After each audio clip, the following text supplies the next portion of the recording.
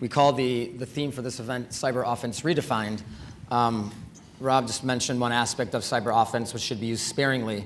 Uh, one of the things that we wanted to accomplish today is to maybe broaden the scope of what cyber offense means uh, and talk about the other ways in which you can be offensive uh, without um, executing on some of the things that Rob was just mentioning. So um, the, the, one important piece of this, which I think we're going to start hearing a lot more discussion on over the next several years, is automation and orchestration. So I'm pleased to have Mr. Paul Beckman, the Deputy CISO for DHS, with me to have a conversation about what they're doing over at DHS. So Paul, it's good to have you here. Thank you very much. Um, uh, Dr. Ray Letteer um, had to brief uh, the number two at Marine Corps this morning, so he will actually be coming in at lunch, and I'll be having a similar conversation with him. So this was designed to be a group chat. It'll just be kind of a convo between, between Paul and I. Um, so to kick off with, you know, Paul, we talked about this, uh, this last week when we were getting ready for this. Um, we know that the resources are limited, um, both in terms of time and qualified uh, workers. Uh, and that obviously puts a lot of constraints uh, on the organization and on the SOC, particularly in an environment where indicators of compromise are going through the roof, um, and, and uh, there just needs to be more support. And so we've seen the introduction of new technologies and processes and tools which are um, enabling automation and orchestration. Now, one of the things that we get frustrated with is how terms can be taken over by marketing folks and uh, basically, um, I think, devalued, and we as a community become maybe desensitized to some of these concepts because all of a sudden in the last year, everybody does machine learning, right, overnight. Um, and so I guess wanted to start off with um, thinking about that context and thinking about this term artificial intelligence and machine learning. What does that mean for you, not from a marketing perspective, but as an executive in charge of security? You know, what do those concepts mean to you, and what is the value that you think it provides you in, in, in supporting DHS? So, at the very high level, um, I think the obvious thing that it means to me is becoming more effective and more efficient. Uh, one of the things that came out in the Cyber EO was a charge to um, all uh, federal agencies to try and realize some efficiencies, become more efficient, become a more lean, um, effective machine. And that's what automation and um, orchestration, I think, means to me. Is the, is the, it provides the ability to become uh, much more leaner, much more efficient, much more uh, effective. Um, we've had these terms for, we've had automation for forever. I mean, automation is nothing new.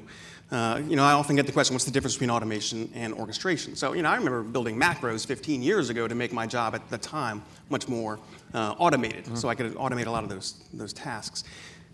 When you're talking about orchestration, though, and that's, that's kind of the new piece to me, is the orchestration piece. So now I have all of these things providing these automated tasks, but they're still not perfect. You know, a lot of people think that AI and um, um, the machine learning will be able to yeah. take away my tier one SOC, and to some degree it will but it's not, it won't take away at all. We're still, I mean, I think today we're still about 70, 80%, 70% for artificial intelligence to become effective. It still can't identify a cat um, uh, 30% of the time when it's looking at these pictures. That's why you'll get those interesting captchas where it's telling you to identify, you know, which picture has a cat, which picture has a street sign, mm -hmm. stuff like that, because machines still aren't there yet in their ability to, to identify those. So I still need that human interaction to, to go in and, and do that that piece that only a human can do, and that's the orchestration piece. So I've got all of these uh, disparate tools kind of coming in and doing their automated piece, but I still need that that 30% human interaction to be able to do that, and that's the orchestration. That human is yeah. the one orchestrating all of those together to make it an effective and efficient tool. Interesting. And so you mentioned that the automation piece is not necessarily new the orchestration is. Do you think there's, uh, uh, uh does the community understand the difference? Is there a need for more education and more more awareness around these things? I think it will become apparent. Uh, no, I mean, I think it'll just become apparent. I think it'll become obvious to people. I was telling my wife last night, it's kind of funny. Uh, she keeps me grounded to a large degree, and she's like, Oh, what are you talking about tomorrow? And I, I was explaining to her the whole thing about automation and orchestration. She's like, What? I thought you guys were doing that 20 years ago. So she, so she was just astounded that we hadn't figured this out yeah. yet, that we did have all of this technology out there, but we hadn't figured out this orchestration piece yet. Um, so yeah, it's just funny that yeah, yeah. It, it took us this long to get here, and it's kind of it really. I started scratching my head. You're like, it really is kind of surprising that yeah, it took us long yeah. to get that. Well, that's why again why, why, we do these things. I think that a lot of times uh, the vocabulary is out there, but people need to um, they just need to be. Um, be re-educated, if you will, I think, some of these things. So, so that, on that point, do you have any examples of, of, what's going on within your organization right now and some specific concrete, maybe case studies you can share with the audience about sure. how you're executing some yeah, absolutely. And just, I mean, everybody across DHS is, is seriously looking at automation and orchestration because uh, of the power that it provides. We've got one component that is actually farther ahead than, than most. They have implemented it. Um, and long story short, it looked, you know, after you take in the, the pilot, the licensing, the development costs, they spent about $1.5 million to implement this tool. And within the last six months, it's only been up for six months. In six months, they have identified uh, over $300,000 in savings so, wow. on return on investment. And how they got that, it's, I mean, that's one of the beautiful things about this tool is it, it it is unique in the respect that it is so easy to figure out your return on investment, the, the savings that you're getting. If you start doing activity-based costing and breaking out these repeatable processes step by step, you know, for every, every time I get a PII spill, here's all the steps a person would have to take to be able to remediate that PII spill. Once you have all the tasks, you figure out how long it takes to do that task, you, you average in the, the, the average uh, hourly rate that it would take somebody to do that, and you can clearly identify every time I automate that process, here's exactly how much I'm going to be saving in, in, in human interaction or human hours. Um, and just and they've only reached the tip of the iceberg, in my opinion, with, with respect to what they've been able to automate. But with the very little that they have been automating, six months, three hundred thousand dollars, and that you know again, that's just the beginning. Yeah. This thing is going to pay for itself um, virtually in just a very, very short, yeah. very short amount of time. So, so on that note, one of the challenges you always hear people say is, I don't have, I need to get executive buy-in. I don't have the the resources. I, I, I, have a certain pool of funds and I have to use them for X, Y, Z, you know, sometimes compliance related issues. Did you guys do a cost benefit analysis beforehand to justify the investment in these types of things? Yes. Or how were you able to get the buy-in from some of the folks Rob was mentioning that needs to be need to be stakeholders in the process? We did a cost benefit analysis through that activity-based costing model. We were able to show hypothetically how much we would be able to save um, in the long term. So again, just a very easy tool and solution to be able to do that cost benefit analysis on. As soon as you can start quantifying, here's how many human hours I will no longer need to do this particular task, it becomes very easy to quantify. Yeah, absolutely. Um, the, one of the things we also talked about was, and Rob mentioned this morning, is uh, opportunities to collaborate, right, between public-private sector organizations and, and, and, in your case, possibly between uh, federal agencies. What are some of the opportunities that you see out there that um, I think maybe two-part question. One is what are we doing a good job at, and what are some what are some areas we could maybe um, focus more on to, to, to, increase that collaborative? So output? we're doing we're doing a lot of collaboration now. Certainly a lot more opportunities in the future to do that. Um, you know, with the Marine Corps in particular, um, we're leveraging their uh, cyber range capability. So there's a lot of collaboration there. I'm very, very thankful to the uh, Marine Corps for enabling that for us. Um, CDM is a huge uh, opportunity for us to collaborate. Um, how we architect the dashboards within Archer, um, how we uh, set up these indicators of compromise. So there's a lot of um, collaboration going on with the CDM. I think there are the opportunities to collaborate, especially when you're talking about orchestration um, and automation, is going to be, it's going to be massive. The beautiful thing about these open source tools and these open architectures is that you can, you know, this whole idea of build it once, let, be it leveraged by many. Um, what our components are doing now is as they build these, um, these APIs, as they build these hooks, as they build these processes and automate them, they're essentially uploading it into our version of GitHub so that any component who comes after them and sets up a similar architecture can just simply go up into this repository and pull down all of the work that had already been done. Um, so that is going to be a massive, um, a massive collaborative uh, initiative there. It's just being able to, you know, all of these smart people building all of these great things are going to be able to be leveraged by everybody who follows. Yeah. And do, do you see that happening with the private sector, you know, critical infrastructure sectors like healthcare, finance, energy, working with, with you all, or is it right now more focused uh, government to government? Right now, focused government to government. Uh, I certainly expect it to become, you know, much more collaborative with the private industry. Yeah, that's great. We, uh, we had a similar talk at an event that we did, CyberConnect uh, in New York, and we had the CISO from Aetna talking about, either Aetna or US Bank, um, talking about the work that they're doing in orchestration, and they were expressing interest in kind of collaborating with the government. So I think the, the interest is there, and people just need to find conduits to, to come together. Absolutely, it just makes sense. I mean, again, this is all reusable code uh, that can be leveraged by anybody. It doesn't have to be federal or, yeah, or, or private. Yeah. It should be shared. So one of the, um, another big challenge that we know organizations exist uh, um, especially in, in, balancing the acquisition process, is Moore's Law, right? So how, what are you doing? I think you kind of alluded to this in your previous question, but what do you do to ensure that an investment that you make today, especially the, with the federal acquisition process, that in two or three years when you actually have the tool, it's not already outdated, especially when it comes to uh, the security, security side? So a couple of thoughts uh, on that. Uh, specifically with respect to acquisition, I'm actually giving a, a talk uh, later on in the week uh, with respect to how we do rapid acquisitions to support cyber. Acquisition needs to become agile to some degree. And I know that that's kind of a loaded term when you're talking about software development, but it does. Um, the idea that the whole premise on Agile, as you all know, is that um, all requirements cannot be known. One of, the, one of the foundations of Agile is not all requirements can be known up front. Uh, so you need to build in a process to be able to accommodate these rolling requirements as they come in. Acquisition is going to be the same way. I don't know what my security requirements are going to be in four to five yeah. years. So I need to be able to build um, contracts to some degree that have the flexibility to be that agile so I can buy what I need, when I need it, where I need it. Yep. So that's acquisitions. Now, with respect to, and so, so being agile in just the capabilities, the beautiful thing about the automation uh, piece of it, uh, or the orchestration piece of it, is that you can, if you build these open architectures with these APIs, as long as the solutions that come out have those open architectures and have the ability for me to create an API where I can just hook into them, then I'm not so worried about what the tools are going to be.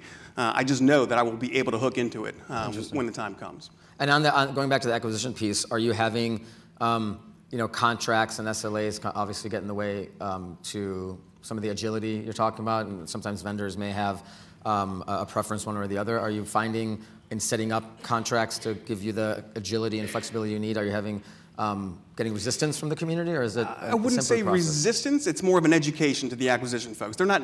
They don't typically have a you know cybersecurity subject matter expert embedded with them, and that's one of the suggestions that we do is put these cybersecurity experts within the acquisition office, uh, so that when they're reviewing my requirements and they're looking at what I'm looking for and what I needed it to be able to do, they can kind of get it without having to come back to me every single time. Well, you know, do you want it to do this? Do you want it to do that? Yeah, interesting.